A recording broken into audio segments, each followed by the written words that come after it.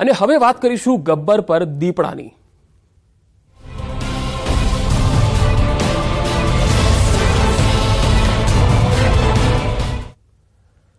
અંબાજીના ગબ્બર વિસ્તારમાં દીપડો દેખાયાનો એક વીડિયો વાયરલ થયો અને ત્યારબાદ ગબ્બર પંથકમાં લોકોમાં ભય વ્યાપી ગયો છે અને શ્રદ્ધાળુઓમાં પણ ભય છે. સમગ્ર ઘટનાને લઈને વન વિભાગના કર્મચારીઓ દોડતા થયા છે. વન વિભાગના કર્મચારીઓએ દીપડાને પકડવા ગબ્બર પર્વતની આસપાસ તળેટી વિસ્તારમાં પાંજરું પણ ગોઠવ્યું છે.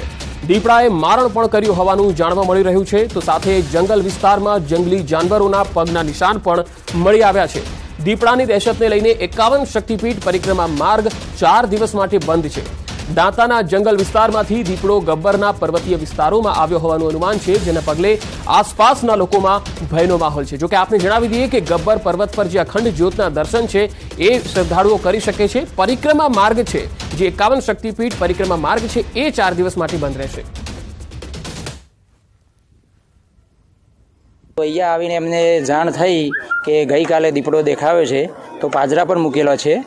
તો ફક્ત અમે સીડી દ્વારા તથા અડન ખટોળા દ્વારા ગબ્બરનો માતાજીનો દર્શન જ કરીશું અને જે પરિક્રમાનું છે તે તંત્ર દ્વારા હમણાં મનાઈ કરવામાં આવી છે. અહીં દીપડાઓ આવે જ છે અને એ એમની જગ્યા છે. ગૌશાળા સુધી આવે જ છે અને દેખાય બી છે.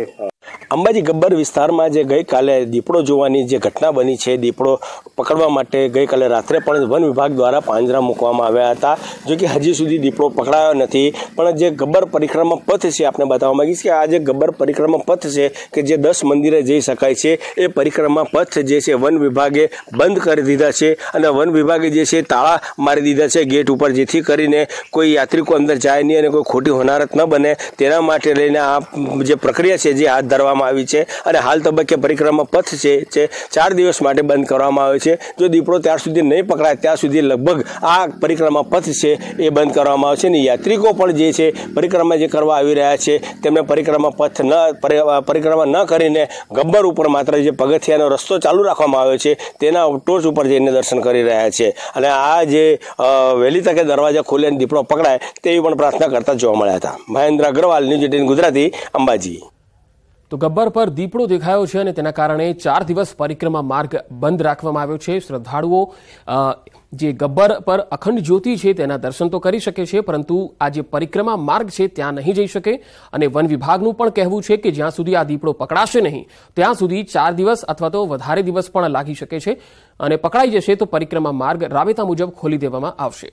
તો અંબાજીમાં મોટી સંખ્યામાં શ્રદ્ધાળુઓ આવતા હોય છે. યાત્રાધામ છે, શક્તિપીઠ છે અને ભાદરવી પૂનમ પણ હવે તો નજીક આવી રહી છે ત્યારે શ્રદ્ધાળુઓ છે એ ધીરે ધીરે અંબાજી તરફ આગળ વધતા હોય છે અને સામાન્ય દિવસોમાં પણ અહીંયા ભીડ રહેતી હોય છે. સુરતમાં ડિંડોલીના આરડીનગરમાં બાંગ્લાદેશી યુવક અને યુવતી રહેતા હોવાનું બહાર આવ્યું. બંને લોકો હિન્દુ નામ રાખીને અહીંયા ભાડે રહેતા હતા. સોસાયટીના પ્રમુખ અને હિન્દુ સંગઠને શંકા થતા પંદર દિવસ પહેલા મકાન માલિકને મકાન ખાલી કરાવવાનું કહેવાયું. મકાન માલિકે કોઈ કાર્યવાહી ન કરતા આજે સ્થાનિકોએ સમગ્ર મામલે ભેદ ઉકેલ્યો હતો. તપાસ દરમિયાન બંને બાંગ્લાદેશી હોવાનું સામે આવતા ડિંડોલી પોલીસને જાણકારી આપવામાં આવી. તો હિન્દુ સંગઠનોએ ભેદ ઉકેલ્યો અને પોલીસને જાણકારી આપવામાં આવી. અહીંયા સ્થાયિક હતા ભાડેથી રહેતા હતા. એ બાંગ્લાદેશી કન્ફર્મ થઈ ગયું ને એને આજે પોલીસ ડિપાર્ટમેન્ટના સહયોગથી એને આજે જમા કરાવી દીધું છે ડિંડોલી પોલીસ ખાતે. વધુ માહિતી સાથે સંવાદદાતા સુરતથી કીર્તેશ પટેલ જોડાયા છે. કીર્તેશ આજે ડિંડોલીમાં બાંગ્લાદેશી યુવક યુવતી રહેતા હતા પરંતુ પોલીસે એક જાહેરનામું પણ બહાર પાડ્યું છે કે જે કોઈ પણ વ્યક્તિઓને ભાડે આપવામાં આવે ત્યારે તેમની જાણકારી સ્થાનિક પોલીસને આપવામાં આવે. તો શું એવી કોઈ જાણકારી નહોતી આપવામાં આવી આ કેસમાં? બિલકુલ પંકજ સુરત પોલીસ મોટી મોટી વાર્તાઓ કરતી હોય છે. સુરક્ષિત શહેર ની વાત કરતી હોય, લોકોને તકલીફ હોય તો ડાયરેક્ટ કંટ્રોલ રૂમ નો કોન્ટેક્ટ કરો. તાત્કાલિક નિરાકરણ આવશે. કોઈને તકલીફ હોય તો ફરિયાદ પેટી મૂકવામાં આવી છે. એટલે કે ઘણી બધી કામગીરી વાત કરવામાં આવે છે, પણ પોલીસ કામગીરીમાં નિષ્ફળ નીવડી છે. જગ જાહેર થયું છે ત્યારે લિંબાઈ વિસ્તારમાં બાંગ્લાદેશી યુવક યુવતી લાંબા સમયથી હિન્દુ નામ ધારણ કરીને રહેતા હતા. સ્થાનિક લોકોને આ બાબતની જાણકારી મળી હતી, સ્થાનિક લોકોએ મકાન માલિકને કીધું, પોલીસને જાણ કરી હતી, પણ કોઈ વ્યક્તિ દ્વારા કોઈ પણ કાર્યવાહી ના કરતા આજે હિન્દુ સંગઠનોએ આ મામલે હોબાળો મચાવ્યો હતો અને આખો મામલો જયારે બહાર લાવવામાં આવ્યો હતો કે વિધર્મી લોકો હિન્દુ નામ ધારણ કરી મકાન ભાડે રહીને રહેતા છે.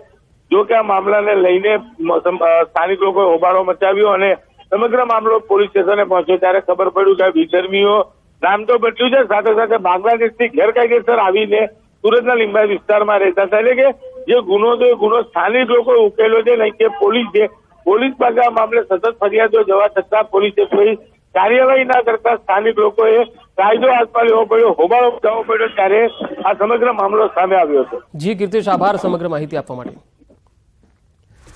નોંધનીય બાબત તો એ છે કે થોડા દિવસ પહેલા રાજકોટથી આતંકીઓ પકડાયા હતા અને આ આતંકીઓના નિશાના પર હતા આવનારા તહેવારો.